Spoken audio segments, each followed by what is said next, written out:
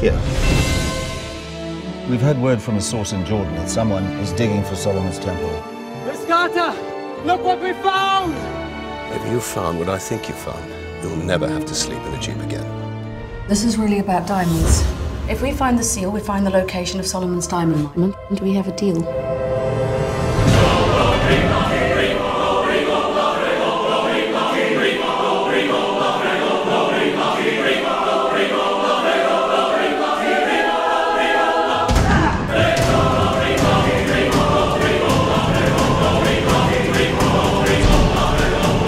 Victoria, be careful. The Ring of Solomon is a powerful object.